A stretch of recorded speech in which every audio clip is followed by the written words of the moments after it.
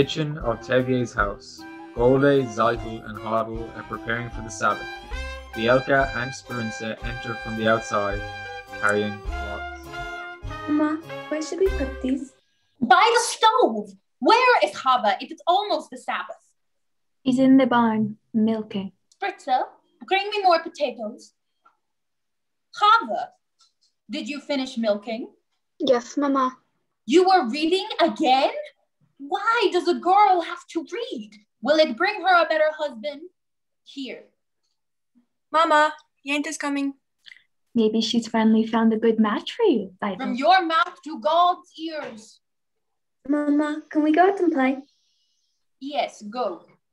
But Mama, the man Yente finds, the last one was so old, and he had no hair. You want hair? Marry a monkey. Golda, darling, where are your daughters? Such diamonds, such jewels. I'll find every one of them a husband. But you shouldn't be so picky. Even the worst husband, God forbid, is better than no husband, God forbid. Uh, good evening. Is uh, Zeitel in the house? She is busy. Come back later. There's something I'd like to tell her. Later. Otto, I thought I heard you. Finish what you were doing. I said later. All right. What does that poor little tailor Motel want with Zeitel? They've been friends since they were babies. They talk, they play, they are children. From such children come other children. Yente, you said you had news. Of course, the news. It's about Lazar Wolf, the butcher. Out of the whole town, he has cast his eyes on your Zeitel. Such a match for my Zeitel. But Tevye wants a learned man. Listen to me, Golde. Send Tevye to him. Don't tell him what it's about. Lazar will tell him this himself. Tevye doesn't like Lazar. Lazar will win him over. He's a good man, and I don't have to remind you he's well off. True, of course, true. So you'll tell me how it went. And you don't have to thank me, Golda, because apart from my fee, which anyway Lazar will pay, it gives me the satisfaction to make people happy. And what better satisfaction is there? So goodbye, Golda, and you're welcome. What did she want, Mama? When I want you to know, I will tell you. Finish the floor. I wonder if Yente has found a husband for you. I'm not anxious for Yente to find me a husband. Not unless it's Motel, the tailor. I didn't ask you. Zeitel, you're the oldest. Yente has to make a match for you before she can make one for me. And me. Oh, Yente, Yente. Well, somebody's got to arrange the matches. Matchmaker, matchmaker, make me a match. Find me a find, catch me a catch. Matchmaker, matchmaker, look through your book and make me a perfect match. Matchmaker, matchmaker, I'll bring the veil. You bring the groom, slender and pale. Bring me a ring, for I'm longing to be the envy of all I see. For Papa, make him a scholar. For Mama, make him rich as a king. For me,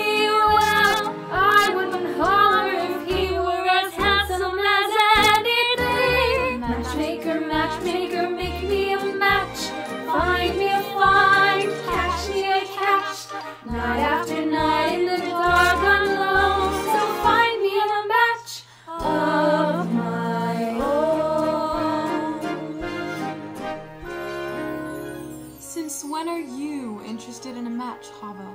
I thought you just had your eye on your books. And you had your eye on the rabbi's son. Why not? We only have one rabbi, and he only has one son. Why shouldn't I want the best? Because you're a girl from a poor family. So whatever Yente brings, you'll take. Whatever. Matchmaker, matchmaker, you know that I'm still very young. Please take your time. Up to this minute, I've misunderstood that I get stuck for good. Do you Yente, uh, see that he's gentle? Remember, you are also a bride. It's not that I'm sentimental, it's just that I take.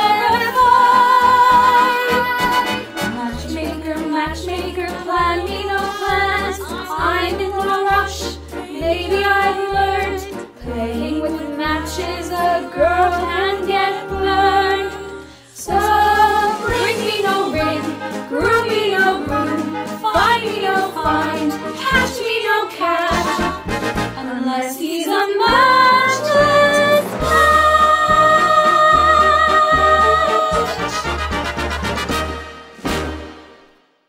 Exterior of Tevye's house. Tevye enters, pulling his cart. He stops and sits on the wagon seat, exhausted. Dear God, did you have to make my poor old horse lose his shoe just before the Sabbath? It's enough you pick on me, bless me with five daughters, but what have you got against my horse? I, I know it's no shame to be poor, but it's no great honor either. What would have been so terrible if I had a small fortune? فيبر ريتشمان يا خدير دهلي دهلي ليل دام All day long I'd biddy biddy bam If I were a wealthy man I wouldn't have to work hard يا خدير دهلي دهلي ليل دام If I were a biddy biddy rich يا خدير دهلي man I'd build a big tall house with rooms by the dozen right in the middle of the town. A fine tin roof and real wooden floors below. There would be one long staircase just going up and one even longer coming down and one more leading nowhere just for show. If I were a rich man, down. All day long I'd biddy biddy bum. If I were a wealthy man, I wouldn't have to work hard. down. Oh, if Biddy biddy rich, if I were rich, I'd have the time that I lack to sit in the synagogue and pray. Maybe have a seat by the eastern wall. And I discuss the holy books with the learned men seven hours every day. That would be the greatest gift of all. If I were a rich man, יחדיי דחדי דחדי דלונם. All day long night, biddy biddy bum. If I were a wealthy man, I wouldn't have to work hard. Yeah, So Lord, who made the lion and the lamb, you decreed I should be what I am, but would it spoil some bastard a pan if I were a wealthy man?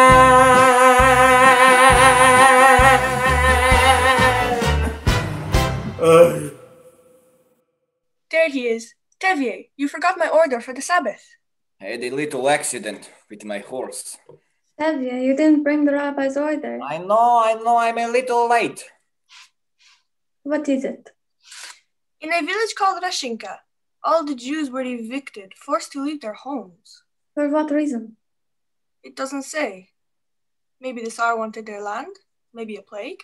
May the Tsar have his own personal plague. Amen. Amen. Why don't you ever bring us some good news? I only read it. It was an edict from the authorities. May the authorities start itching in places that they cannot reach. Amen. Tevye, the rabbi's order. My cheese. Of course, of course, the cheese. So, you're not from around here, Reb Reb Perchik. Perchik. So you're a newcomer here. As Abraham said, I am a stranger in a strange land. Moses said that. Forgive me. Uh, as King David put it, I'm slow of speech and slow of tongue. That was awesome, Moses. For a man with a slow tongue, he sure talked a lot. My cheese. The Sabbath Good Sabbath, Tevye. The inn. Lazar is waiting impatiently, drumming on the tabletop, watching the door. Reb Mordcha. Yes, Lazar Wolf. Bring me a, a bottle of your best and two glasses. What's the occasion? A party? Maybe a party, maybe even a wedding. Good evening, innkeeper. Good evening. Good evening, Mordcha. Good evening, Tevye. Lazar, he, he wants to buy my new milk cow. Good evening, Reb Lazar. Ah, Tevye, sit down. Here, have a drink. Now, Tevye, I'm sure you know why I wanted to see you. I do, Reb Lazar, but it's no use talking about it. Why not? Why, yes. Why should I get rid of her? Well, you have a few more without her. I see. Today you want one. Today, tomorrow you may want two. Two? What do I do with two? The same as you do with one. I'm talking about your daughter, Zeitel. My daughter, Zeitel? I see her in my butcher shop every Thursday. She's made a good impression on me. I like her. And I would be good to her, Tevye. What do you think? What do I think? You can have a fine conversation with him if you talk about kidneys and livers. On the other hand, not everybody has to be a scholar. Maybe I misjudged him. He is a good man. He likes her. He will try to make her happy. Uh, what do I think? It's a match. You agree? I agree. David, that's wonderful. To the both of us. To our agreement. To our good health and happiness. And most important, to life. Street outside the inn. Exiting from the inn door are Fiddler, Blazer, Tevye, and others singing to life. All except Tevye exit, calling good night. Constable enters. Good evening, Tevye. What's the celebration? My oldest daughter, Zeitel. She's getting married. Oh, my congratulations, Tevye. Thank you, thank you, Your Honor. Tevye, I have a piece of news that I think I should tell you as a friend. We have received news that received orders that sometime soon in this district is to have a little unofficial demonstration. A pogrom here? Well, just some mischief, so that if an inspector comes through, he will see that we have done our duty.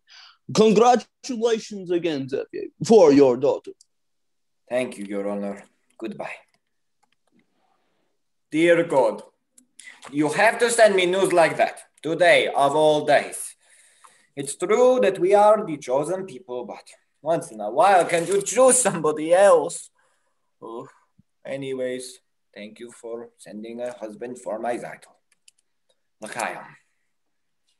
Outside Tevye's house, Perchik is teaching Hodel, Sprinza, Bielka while they peel potatoes at the bench. Now, children, I will tell you of the story from the Bible that of how Laban cheated Jacob, who worked for him. It will show you that the Bible clearly teaches that you can never trust an employer. Understand? Papa isn't up yet? No, Mama. Enough lessons. We have to do Papa's work today. He staggered home last night and fell into the bed like a dead man. I couldn't get a word out of him. Put that away and clean the barn. And call me when Papa gets up. That was a very interesting lesson, Perchik. Thank you. But I don't think the rabbi would agree with your strange ideas. Uh, certainly, any new idea to you would be strange. Remember, the Lord said, Let there be light. Yes, but he was not talking to you personally. Good day. You have spirits, even a little intelligence, perhaps. Thank you. And you are very brave. Do you know that in the city, boys and girls can hold hands together? They even dance together, new dances like this. I learned it in Kiev. Do you like it? It's very nice. There, we've just changed an old custom.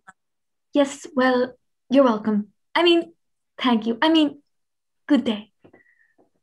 Good day. Uh, Bielka, uh, what's your name? Haggle, Papa. Where is Zeitel? Where is Zeitel? She's in the barn. Call her out. Uh, Reb Perchik, how did the lesson go today? So I think we made a good beginning. Ah, he is finally up. What happened last night? Did you see Lazar Wolf? What did he say? Uh, Zeitel, Zeitel, my lamb, come here, come here, please. Uh, you are to be congratulated. Lazar Wolf has asked for your hand. The butcher? And what do you say, Zeitel? What can she say? A bride! I must thank Yente. My Zeitel, a bride. Mazel tov, Zeitel. You call that a mazel tov? Come on, mazel tov! Mazel tov, Zeitel. Congratulations, Zeitel, for getting a rich man. Again with you and the rich? What's wrong with being rich? It's no reason to marry. Money is the world's curse. Well, may the Lord smite me with it, and may I never recover. Zeitel, my child, why are you so silent?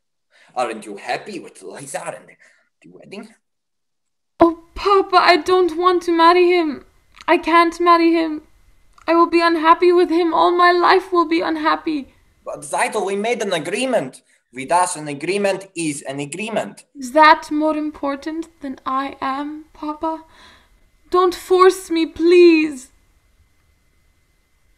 All right, Zeitel, I won't force you. Oh, thank you, Papa. Reb Tevye, Oh, not now, Motel. I have problems. that's what I want to speak to you about. I can help. You can help.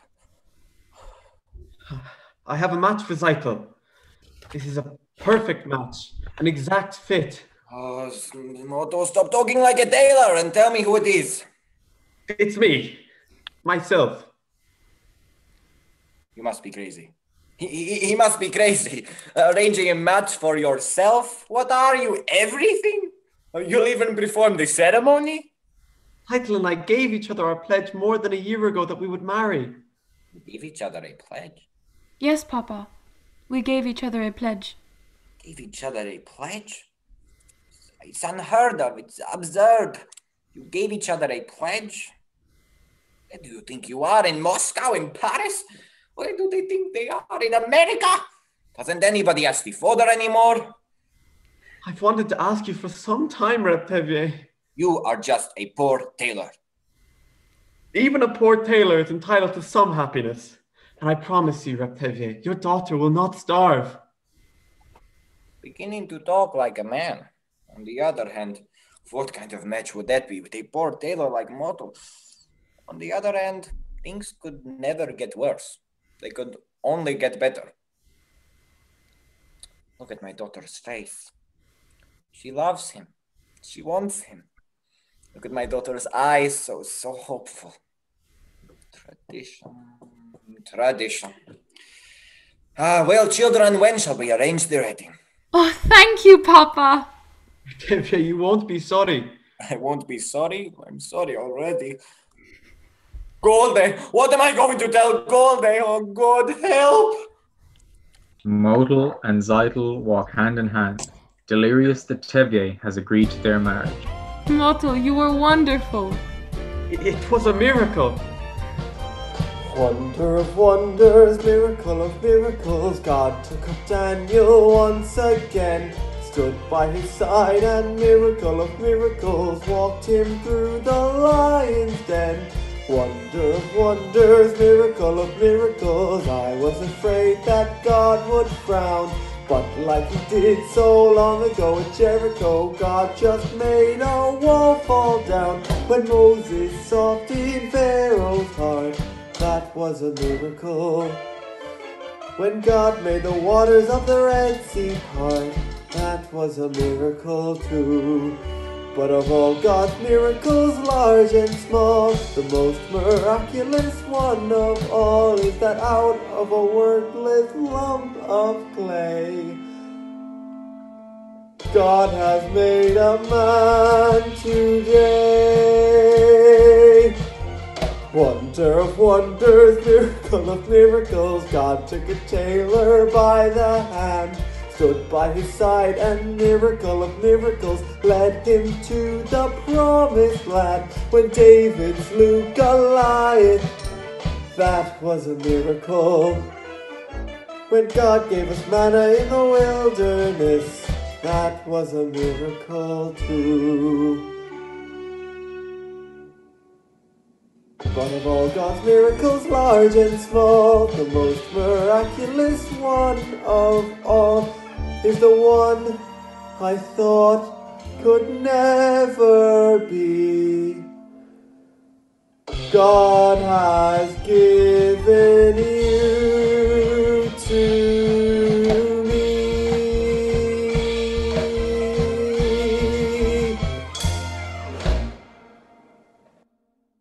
Exterior of Tevye's house. Hodel enters petulantly, followed by Perchik, who is carrying a suitcase. Please don't be upset, Hodel. Why should I be upset? If you must leave, you must. They expect me in Kiev tomorrow evening. So you told me. Then goodbye. Oh, your father, the others here think what happened at Zeitel's wedding was a cloudburst and it's over and everything will now be peaceful again. It won't. You understand. Yes, I suppose I do. Goodbye, Perchik. Before I go, there is a certain question I wish to discuss with you, a political question. Yes? The question of marriage. This is a political question? Yes, and I personally am in favor of it. Are you asking me to marry you? in a theoretical sense, uh, yes, I am. I was hoping that you were. And and we can consider ourselves engaged, even though I'm going away.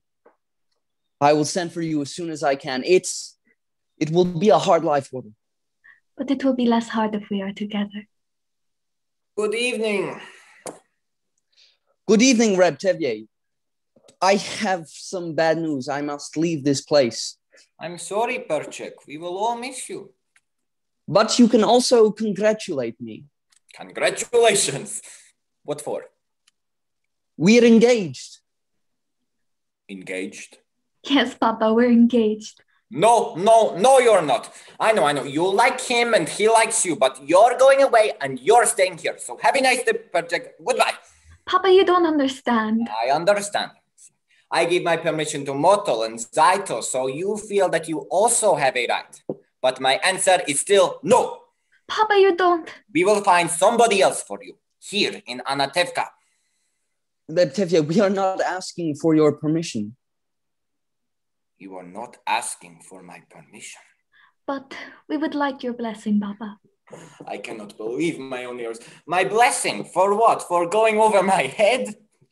At least with Zeitel and Motel, they, they asked me, they begged me. But now, if I like it or not, she'll marry him.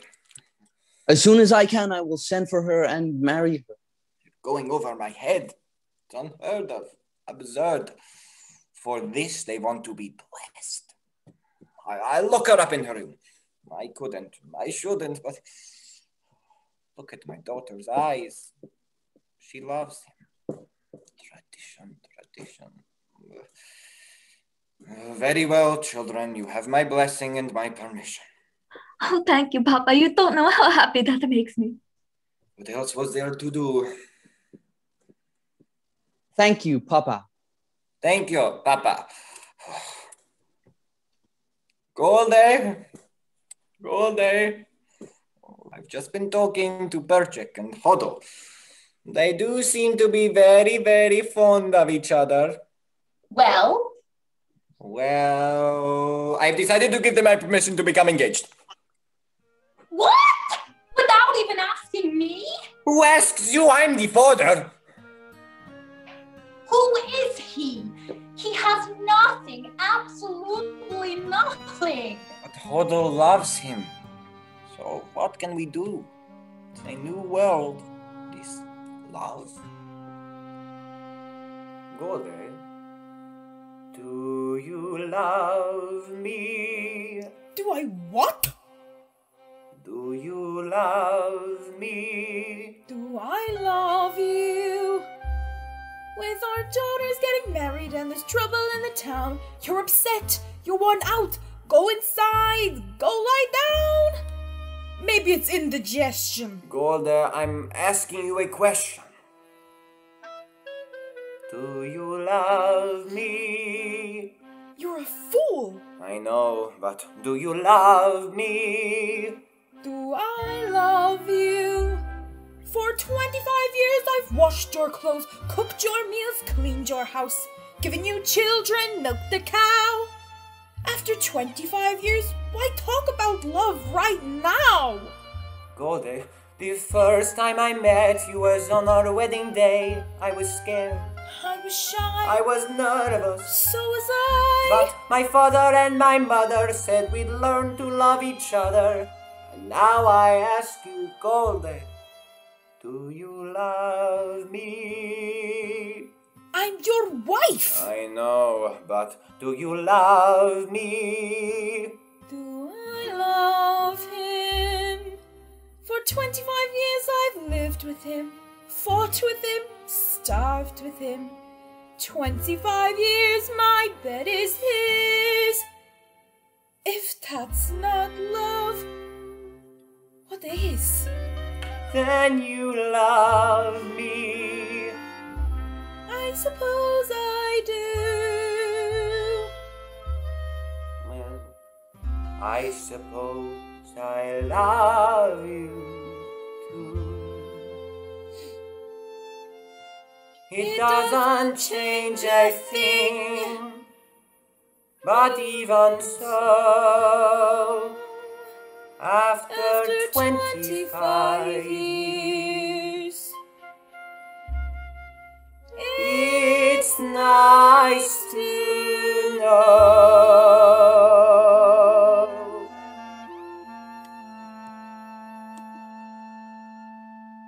Motel's tailor shop. Motel and Chava are in the shop. Chava exits from the shop and meets Fiedka outside. Chava, let me talk to your father. No, that would be the worst thing. I'm sure of it. Well, let me try. No, I'll talk to him. I promise. Good afternoon. Good afternoon. Good day. Good afternoon. Good day. What were you and he talking about? Uh, nothing, but Papa, Fiedka and I have known each other for a long time now, and Chava, you must not forget who you are and who that man is. He has a name, Papa. All creatures on earth have a name, Chava. Fiedka is not a creature. Fiedka is a man. Who says that he isn't? It's just that he is a different kind of man. As the good book says, each shall love his own kind, which means a bird may love a fish, but where would they build a home together? The world is changing, Papa. No, Chava, some things never change. We don't feel that way. We? Fiedka and I. We want to be married. Are you out of your mind? But, Papa, No! Never talk about this again. Never see him again. Do you understand me? yes, Papa, I understand you. Exterior of railroad station, morning. Hodel enters and walks over to the bench. Tevye enters carrying her suitcase. You don't have to wait for the train, Papa. You'll be late for your customers. Is he in bad trouble, that hero of yours? Perchik did nothing wrong. If he did nothing wrong, he wouldn't be in trouble. What wrongs did Joseph do, and Abraham, and Moses? And they had troubles. And where is he now, this Joseph of yours? Far, Papa. In a settlement in Siberia. Siberia? Hodel, he asked you to leave your father and mother and join him and marry you there? He did not ask me to go, Papa. I want to go. Hodel, my child. How can I hope to make you understand why I do what I do, why I must travel to a distant land, far from the home I love. Once I was happily content to be as I was, where I was, close to the people who are close to me, here in the home I love. Who could see that a man would come who changed the shape of my dream?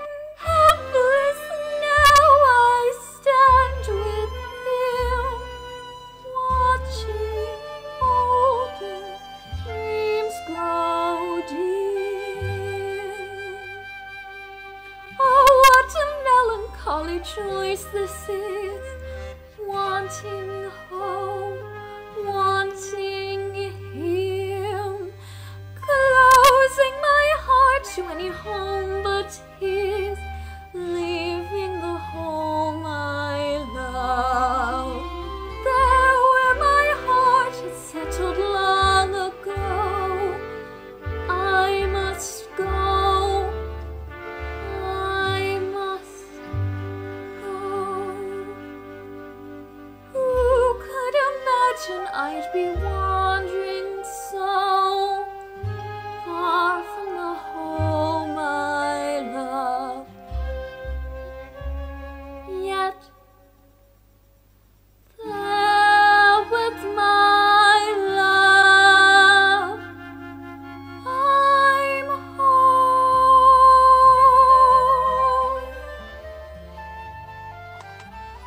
Outside Tevye's house, Motel and Zeitel are packing baggage into a cart and wagon. Sprinza and Bielka enter with bundles. Where we live in America. Uh, with Uncle Abraham, but uh, he doesn't know it yet. I wish you and the baby were with us. We'll be staying in Warsaw until we have enough money to join you. Motel, be careful with these. My mother and father, may they rest in peace, gave them to us on our wedding day. Come, children. Help me pack the rest of the clothes. Golda, darling, I had to see you before I left because I have such news for you. Golda, darling, do you remember what I told you yesterday? I didn't know where to go, what to do with these old bones.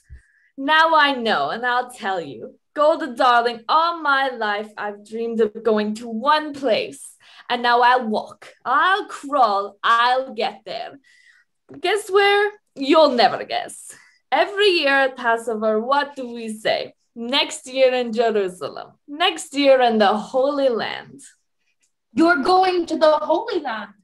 You guessed, and you know why. In my sleep, my husband, my Aaron, he came to me and he said, Yente, go to the Holy Land. Usually, of course, I wouldn't listen to him because, good as he was, too much brains he wasn't blessed with. But in my sleep, it's a sign, right? Of course, right. So somehow or other, I'll get to the Holy Land. And you know, want to know what I'll do there? I'm a matchmaker, no? So I'm going to the Holy Land to help our people increase and multiply. It's a mission. So goodbye, Golda. Goodbye, Yente. Be well and go in peace. All day we have to hurry.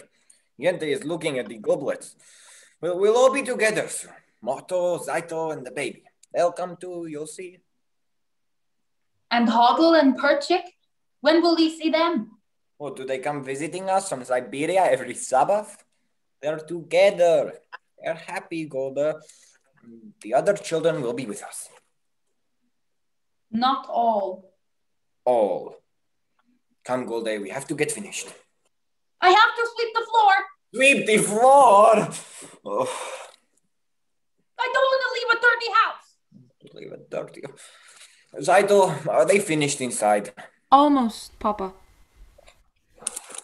Chava, Papa will see you. I want to say goodbye to him, He will not listen. but at least he will hear. Papa! Papa, we came to say goodbye. We are leaving this place. We are going to Krakow. We cannot stay among people who do such things to others.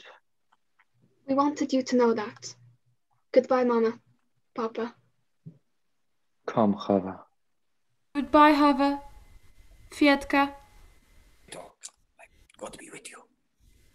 God be with you. We will write to you in America, if you like. We will be staying with Uncle Abram. Yes, Mama. We have to catch a train. Bielka, Sprinza, put the bundles on the wagon. And, and Zeitel, don't forget the baby. Goodbye, Papa. Goodbye, Motel. Bye, Mama. We're going on a And train. the train and the boat are We're going going in on the a train and the boat. Stop that! Behave yourselves. We're not in America yet. Come, children, let us go.